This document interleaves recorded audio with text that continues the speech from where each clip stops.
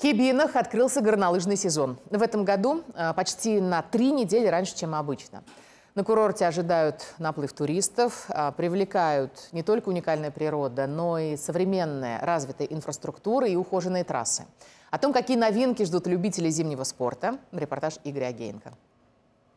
Открыт на месяц раньше срока и не боится оттепели. Горнолыжный сезон на Большом Водоявре увеличился почти на треть. Теперь кататься тут можно будет с середины осени до начала лета. Все дело в новой системе, которая позволяет создавать снег при первых отрицательных температурах. Одна из самых ценных вещей для горнолыжников – вот такой рифленый наст, который остается после ратрака, специального снежного уплотнителя. В народе его называют вельвет. И именно по нему лучше всего кататься, делая разные пируэты.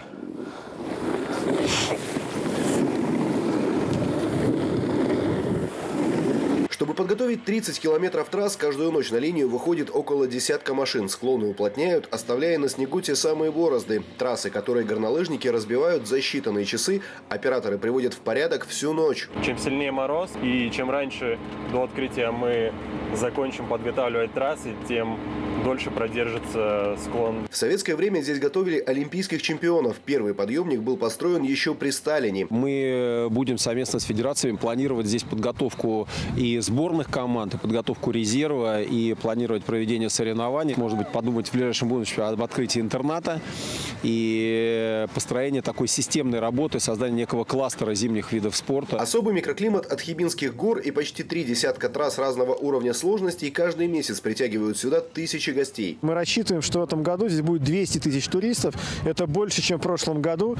По крайней мере, все уже очень активно бронируется. Но кроме того, мы открыли здесь суперсовременную школу для молодых горнолыжников, поэтому становится действительно и спортивным, и туристичным кластером. В этом году специально для соблюдения дистанции и удобства райдеров на улице установили автоматы по продаже скипасов. Но горнолыжники и без этого одни из самых дисциплинированных из-за специфики спорта. На горе кататься без балаклавы и без перчаток, без маски неудобно. Это уже как противоэпидемическая мера, как защита. Вместе с тем приветствие традиционное горнолыжников, оно осуществляется в перчатках. Это тоже своего рода определенная мера соблюдения противоэпидемических мероприятий. И еще один приятный бонус. Первый на северо-западе панорамный ресторан на высоте в тысячу метров. Захватывающие виды, ради которых еще хочется сюда вернуться. Игорь Агеенко, Антон Климовский, Дмитрий Кваснюк. Вести из Мурманской области.